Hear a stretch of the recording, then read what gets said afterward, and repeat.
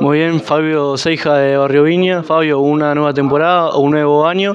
¿Qué objetivos tiene Barrio Viña y cómo se prepara para este comienzo de la División A?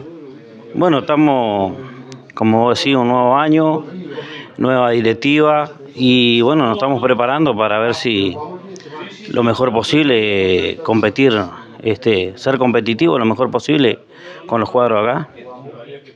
Un Barrio Viña que lo hemos visto eh, haciendo grandes años y todo eso.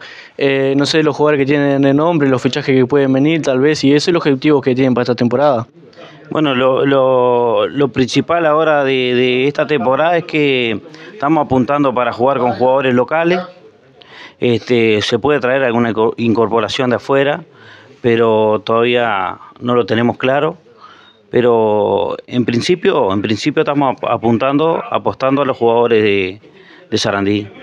El objetivo principalmente de Avenida de, Avenida de Barrio este año. Y bueno, estar, eh, tratar de estar lo más arriba posible en la tabla. Este, y bueno, y como ya te dije, tratar de, de ser un cuadro competitivo.